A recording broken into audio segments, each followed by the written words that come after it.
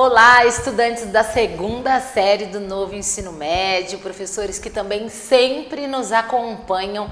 Eu sou a professora Mara Valéria e nós estamos aqui hoje para mais uma aula do nosso componente Jornalismo e Inclusão nos Esportes, Práticas e Experimentações Hoje, leitura de crônica. A gente vem aí com a aula de sistematização 1. Eu não estou sozinha, estou acompanhada também de um professor de vocês, que ele está sempre à frente do componente 2 e é o professor Mauro Marcel.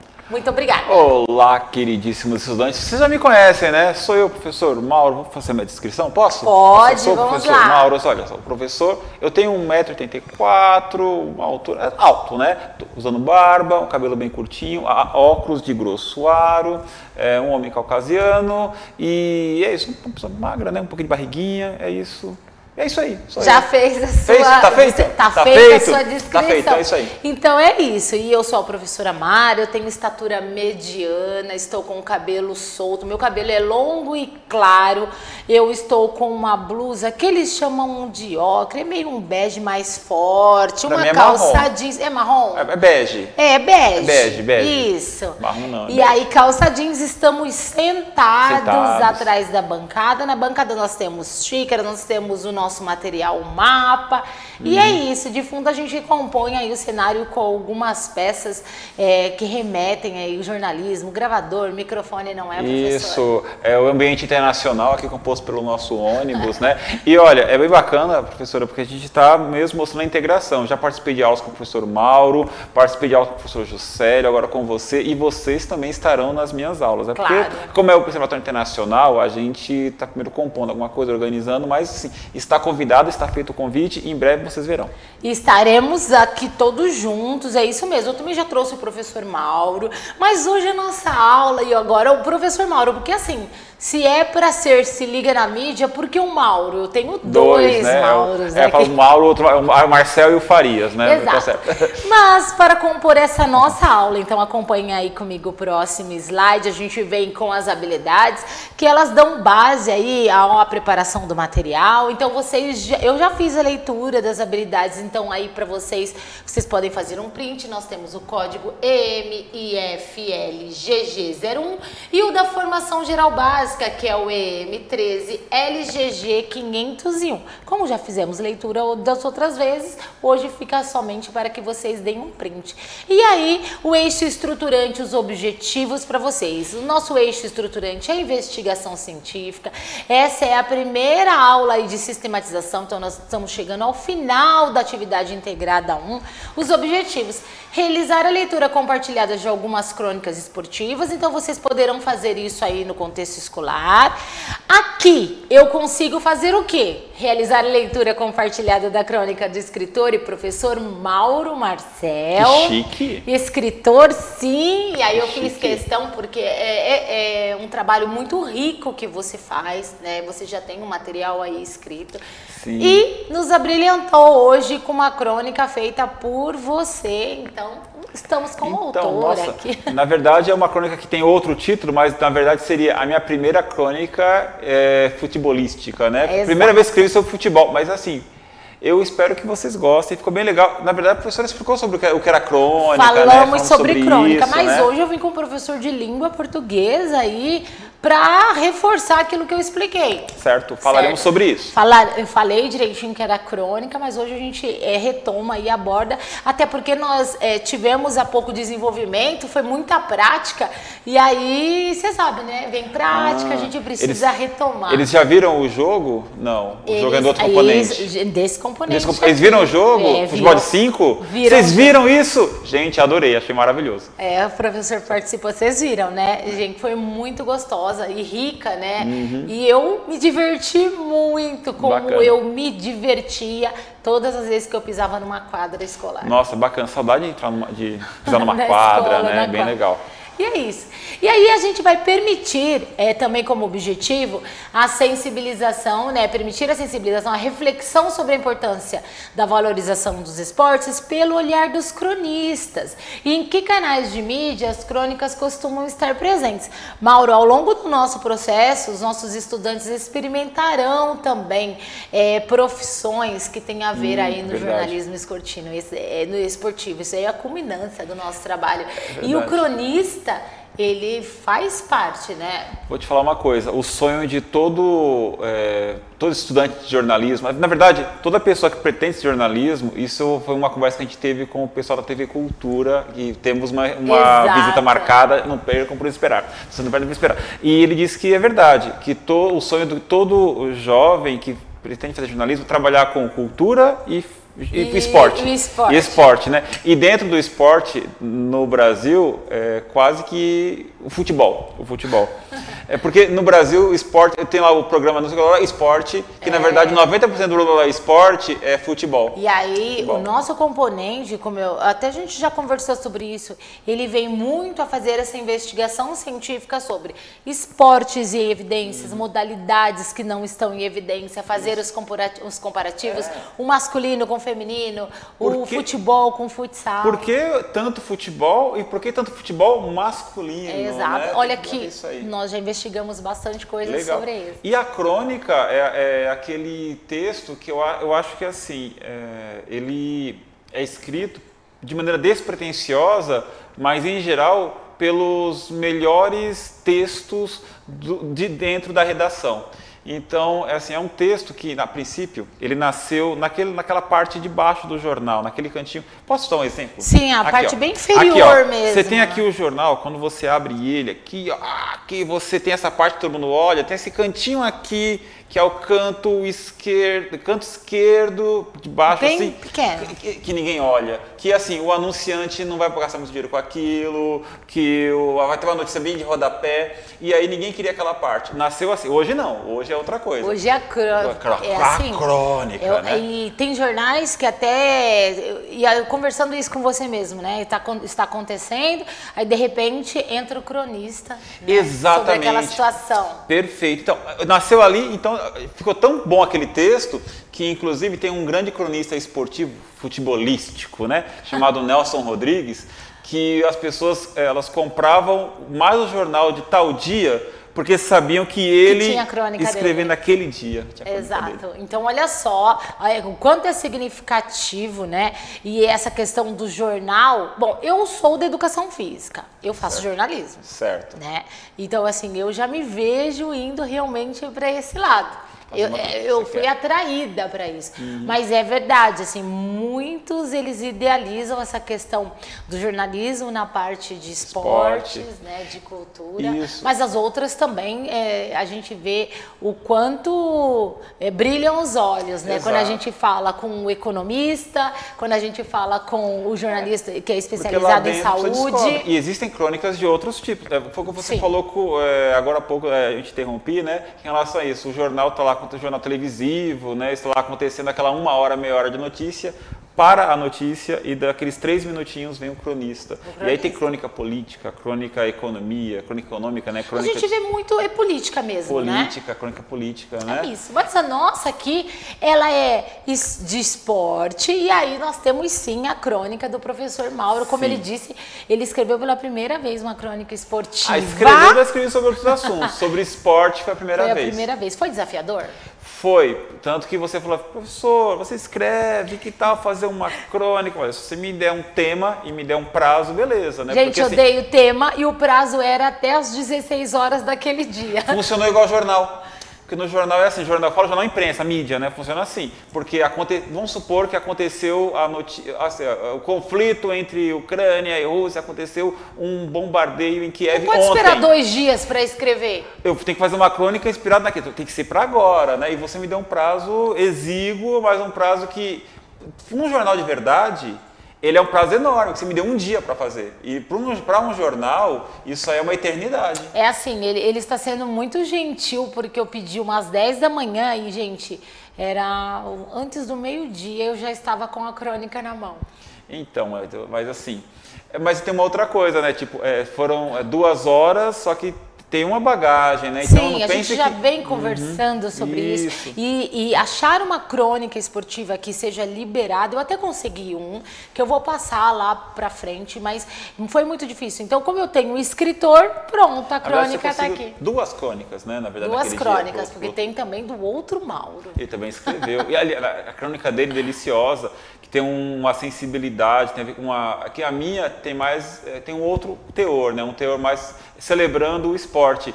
A do professor Mauro Farias, vocês vão ver, ela, ela, é, ela é sensível, ela, ela vou falar assim, Olha, ela é emotiva, é linda, é, é linda. Mas as duas é, são exatamente aquilo que eu queria mostrar para eles. Isso. Por quê? Porque os nossos estudantes, eles produzirão crônicas na escola. Maravilha.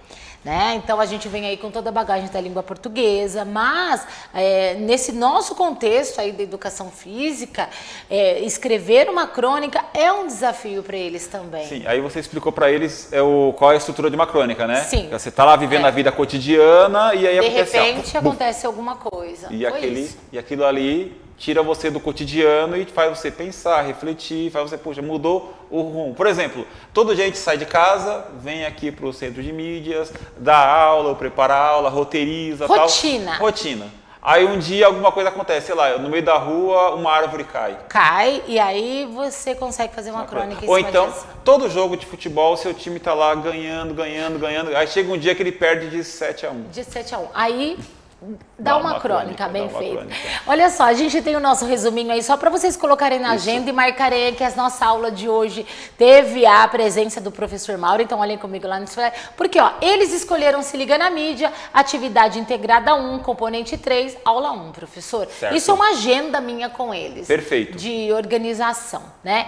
E a crônica escrita pelo escritor e professor Mauro Marcel, do, do Centro de Mídias que se chama A Minha Visita ao Templo Futebolístico, de Mauro Marcel. Tem o um arroba isso, dele aí. Isso. Depois, se vocês quiserem saber mais sobre as obras do professor, eles te procuram. Liga lá, português, né? você vai line EM é o Instagram.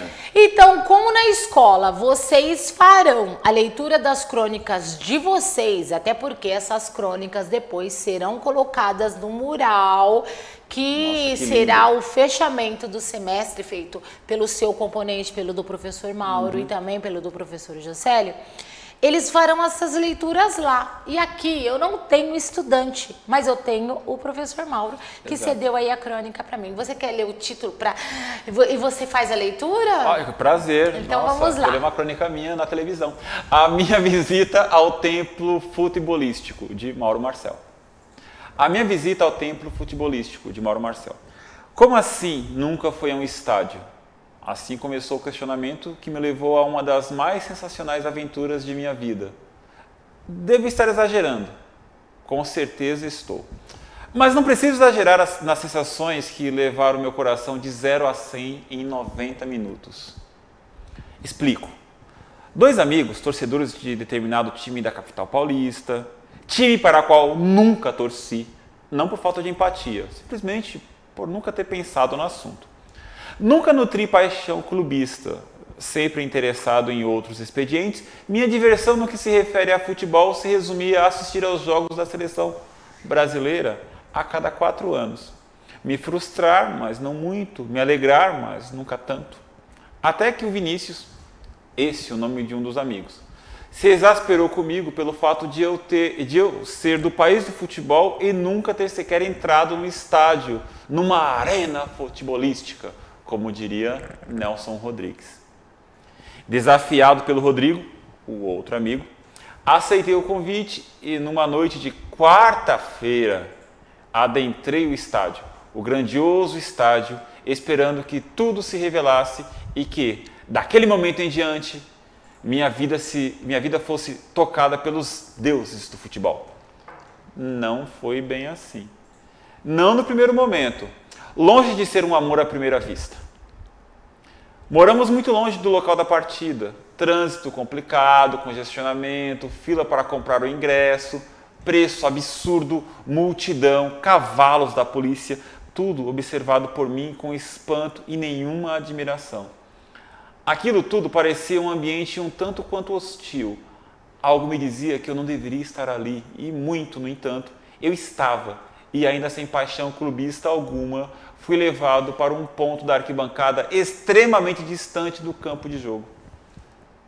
Lembrei-me, naquele momento, de quando meu pai saía para jogar futebol num campinho na beira da rodovia e famílias e mais famílias se juntavam para assistirem a tudo. Minha mãe incentivando meu pai, goleiro do famosíssimo time Cuca Fresca, ultracampeão da Várzea de Guarulhos. Ali, naquele estádio, tudo tão distante e frio. Onde escuto o narrador? Como saber se o jogo estava bom ou ruim?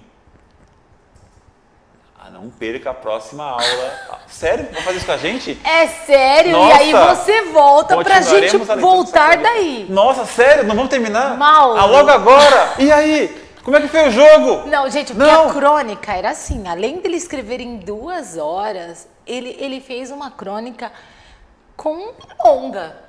Foi longa. Mas assim, é. é. que vocês amanhã, né? Quer dizer, para a próxima aula, vocês precisam estar aqui ligados para a gente descobrir o final. O que acontece, gente? Mas, aquele, Mauro, dia foi, aquele dia foi, foi, foi maravilhoso. É assim, dia. quando você conta, eu fico pensando, porque eu sempre, muito, muito antes de eu ter minha filha, eu sempre fui frequentadora de estádio. estádio. Eu tenho um eu, time eu, meu.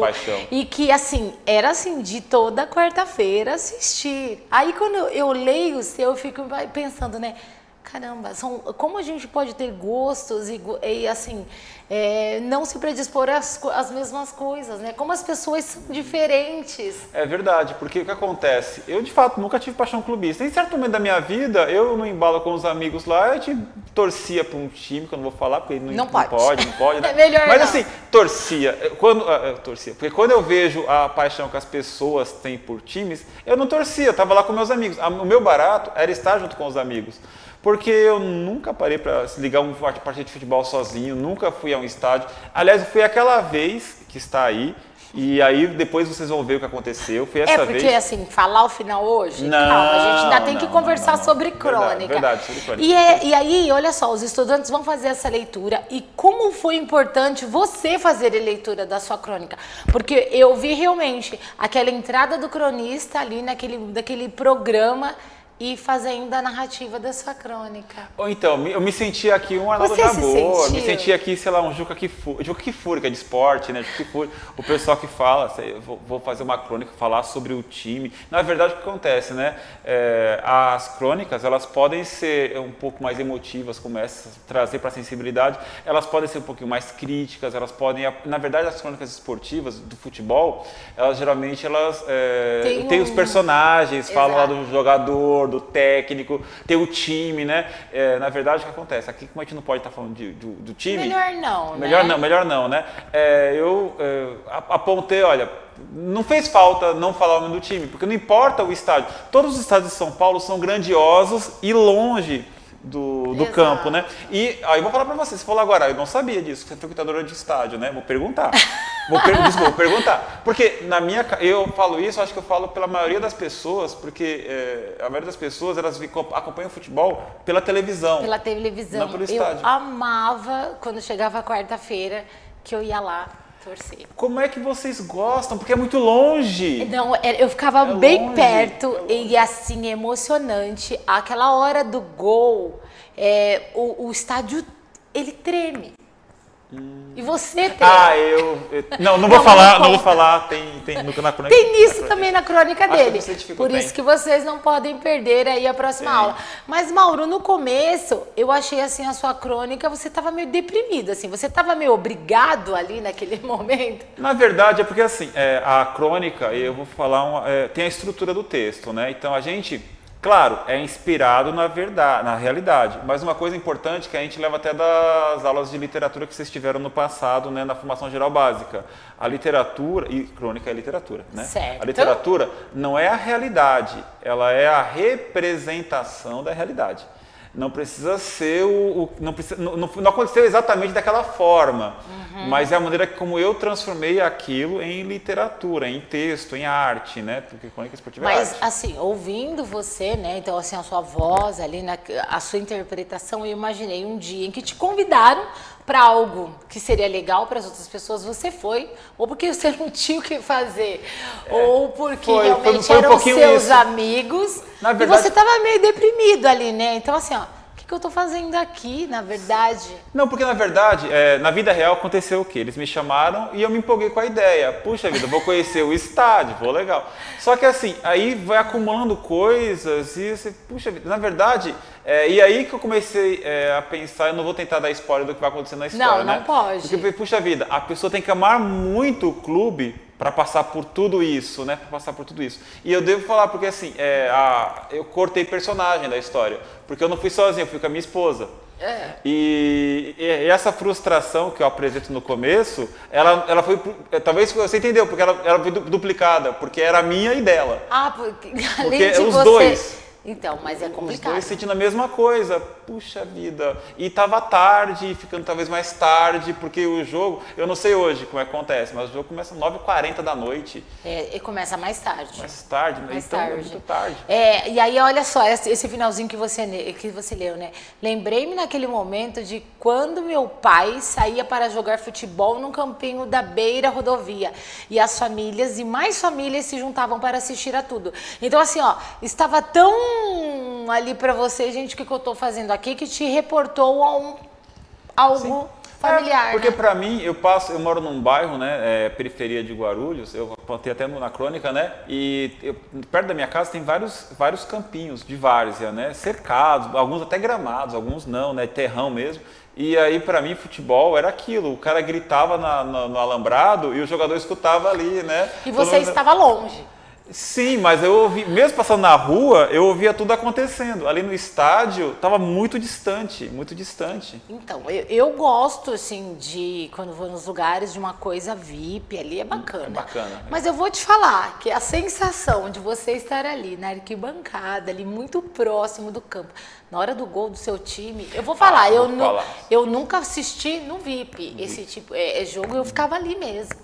Então, é fantástico. sobre isso, sobre isso na, na, próxima. na, próxima. parte. Mas uma coisa que eu acho legal falar para os estudantes é, é, assim, que você vai pedir para eles elaborar uma crônica, né? É, eles já, eles então... já estão nesse processo. Enquanto hoje a gente está aqui, uhum. é, a gente está citando um exemplo, e assim, vai ser muito diferente do que eles fazem, porque na verdade você já tem todo um aporte literário aí, gramatical para a escrita. Então, eu ia falar e eles, isso. eles vão, eles vão aprimorar isso aí na, na escrita da crônica deles, e um ajudando o outro. Eles não precisam fazer individual, eles podem fazer isso coletivamente isso, eu ia falar sobre isso, porque assim, quando eu, peço para os estudantes escreverem algo na, na sala de aula é, é, e usa um texto meu como exemplo, eu imagino igual você na sala de aula, na, na quadra. É, você pega, sei lá, joga uma bola de basquete, faz o um movimento certinho, joga certo. lá tal. Aí o estudante pega, vê você acertando 9 de 10, fala, caramba, eu nunca vou fazer aquilo. Porque ele vai na bola e ele erra 9 de 10, você sai 9 de 10. Então o que acontece? É, quando escrever é um ato braçal mais do que intelectual. Então o que acontece? É igual alterofilismo, é, bodybuilder, né? O cara que levanta peso, levanta peso, levanta peso, depois de 20 anos ele vai estar todo bombado. Então, ou seja, eu escrevi textos ao longo de muito tempo. Então é normal sair um texto assim depois de Com muito tempo. Com a estrutura, né? Exatamente. Mas os nossos estudantes da segunda série, eu acho que eles têm essa base. Mas, mas talento para fazer um, te, um, negócio mais maravilhoso do que isso, mais espetacular, né? Do que o professor Mauro Farias. Agora a ideia é essa, é, tentem ser o mais é, fiéis à proposta do que é uma crônica. Que é o que? É você extrair um momento da realidade e tentar passar para as pessoas o que aquele momento é, fez você sentir. Que eu acho que a professora trouxe, assim, uh, foi, foi instintivo. Nossa, você estava depressivo, deprimido, estava tá, triste. Gente, como assim estava chato aquilo? Assim. Mas assim, você nunca foi um torcedor, nunca teve um time do coração. Você isso. mesmo citou isso. isso. Mas você era de uma família que, como você diz ali, sua mãe sempre incentivava seu pai, seu pai gostava. E qual Exato. era essa relação dele te levar para jogar? Isso não teve? Não teve, não teve. Na verdade, é, meus pais se separaram, né? Mas meu, é, o tempo que ficou em casa meu pai, ele sempre levava mais meu irmão que mais esportes, que, ligado aos esportes, né? Eu sempre, sei lá, ser desengonçado, tal. Eu descobri outras coisas. Como descobri assim? outras coisas. Ah, eu nunca fui muito fã de atividades físicas. Depois descobri certo. depois mais tarde. Hoje eu corro, faço, mas assim, naquela época. Você também não se interessava em ir, não. não Não. Na verdade, uma outra coisa que é importante falar, né? Você não precisa ser um grande amante de esportes para escrever sobre esportes. Não. Exato. E aí é isso que é legal você falar exatamente, porque você fez uma crônica, mas você gosta, porque você sempre comenta Exato. das atividades. Igual a atividade que vocês fizeram lá com os olhos vendados. Você curtiu demais. Eu me diverti. Você me aproveitou diverti. demais. Sim, o meu medo ali era machucar alguém, né? Porque dá mas pra perceber tinha o guia. Então, né? é mesmo assim que é instintivo, né? É uma, uma experiência até que eu passo, que já posso falar da outra aula, né? Isso, né? Porque é, perder um dos sentidos, né? É, até que de maneira é, temporária, né? É, assim, é um foi negócio difícil, foi, foi, né? foi, complicado, né? Você cria uma outra perspectiva de vida. É, a gente passa a ver o mundo com outra, de, outra, de outra de outra forma, outra né? Forma. E foi, mas foi uma experiência bacana. Maravilhoso. E assim, fazer a leitura dessa sua crônica aqui com você, também eu acredito que tenha mostrado realmente para os nossos estudantes o que é aí a crônica, né? Então, uhum. não foi nada de outro mundo. Não, não. Você contou um fato, mas assim, ir ao futebol também nem era a sua rotina. Exatamente. Já começou por aí, né? Saí, então, tava todo dia, trabalhava, tava pra cá. Um dia, uma quarta-feira. Tem um dia mais normal que quarta-feira? Quarta-feira. Se tiver uma quarta-feira, vai lá no estádio de futebol. Talvez a professora Mara fosse o cotidiano dela, para mim já não era. É, era. Agora também eu mudaria da rotina, uhum. porque eu já não faço mais isso. É há muito tempo, minha filha tem 11 anos. Eu acho que ne, tem esse período que eu não frequento o estádio de futebol. Imagina uma crônica assim: o último dia que eu joguei futebol com meus amigos na rua, na, na quadra, sei lá, imagina aquela, tipo, aquele tipo de coisa. É bem emotiva, trazendo sensações. Tem, tem vários temas possíveis, né? É, envolvendo o esporte, quando você descobriu alguma modalidade quando você é, percebeu que aquilo era parte integrante de você, a primeira vez que você teve uma aula de educação física. É, então. É e, e eles vão fazer a crônica dessas. É, também pode ser das modalidades que eles vivenciaram. E aí ah, perfeito, ainda. Perfeito, perfeito, nossa. E aí, professor, essa imagem que. Foi eu que escolhi a imagem, Olha. porque foi como eu vi o professor, gente. No meio de um monte de torcedor e ele ali o que eu Tô. estou fazendo. Tem alguém com celular na baixada, aqui. é isso? Ah, não sei. Tem alguém, parece alguém tem no meio mexendo no celular. É, né? mas assim, é, parece você, né? Não, sou eu lá no assim, meio ó, perdido. Gente, o que eu estou fazendo ah, aqui. Verdade. Então, essa imagem eu acho que ficou muito aí e vai deixar vocês curiosos. Mas por quê? O que será que o professor fez aquele dia? Então, é. amanhã você vem. Eu volto né? na próxima A gente vai aula. gravar a próxima aula aí, né? Pra eles direitinho. Sim. O que, o que aconteceu depois que eu me frustrei tanto com aquela visita? É, então, gente, não fiquem chateados comigo, porque era importante fazer essa leitura e ele explicar para vocês direitinho o que Mas é faz a parte, é processo E de... aí vem a apresentação da atividade para o professor, que é exatamente, né, realizar a leitura compartilhada de algumas crônicas. Nesse momento, se eles estiverem, eles já, já fizeram alguma crônica naquele dia que eu te perguntei, que ah, eu vim ah, falar da tá, legal, bacana. Então hoje é mesmo pôr ali no papel, pegar o que eles fizeram e permitir essa questão da sensibilização que eu já tinha até falado, né? É a crônica pela mídia. Se eu colocasse essa sua crônica em um jornal, teria tudo a ver, né? Perfeito, com a contextualização. É e atividade para o estudante é realizar também a leitura que foi proposta aí pelo professor e por mim e refletir sobre a importância da valorização dos esportes nesse olhar dos cronistas e pensar, se você escolheu Se Liga na Mídia e ele tinha alguma coisa a ver com sua qualidade de vida, será que você sonha em ser um cronista? Olha só. Esportivo. Ia ser bacana, então, quem né? sabe? Então, hoje nós fizemos aí a leitura. É, o que vem por aí? Aula de sistematização 2. Continuamos com a crônica do professor Mauro. Tem o arroba dele ali, podem mandar também para ele curiosidades sobre essa, essa sua questão de, de ser escritor, tudo também. E, se tiver dúvidas com crônicas, ele pode tirar a dúvida de vocês, isso não Manda tem lá, problema sem problemas.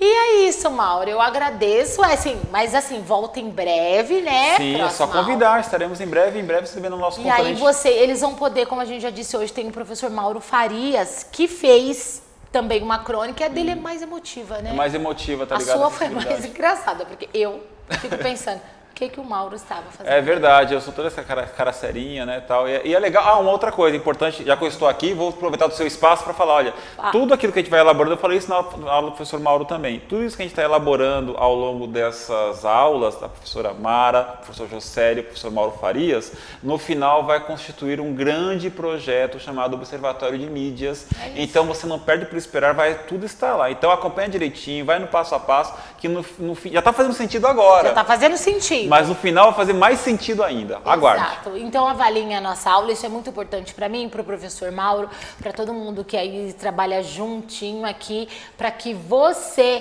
consiga né, ter aulas aí de qualidade. Então avalie é muito importante. Professor Mauro, muito eu obrigada.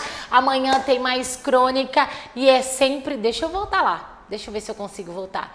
É sempre o que eu falo para eles. Se liga na mídia, linguagens e suas tecnologias. Tchau. Falou.